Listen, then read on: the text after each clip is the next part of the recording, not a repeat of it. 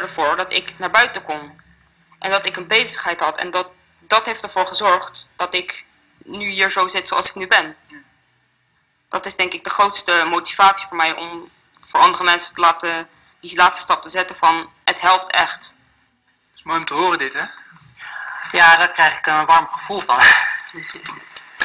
en eh, nou, dat is wat ik zeg, eh, dat is die voldoening en eh, die drive dat je ja, elke week ernaar uitkijkt om eh, nou, met Jassine leuke dingen te doen.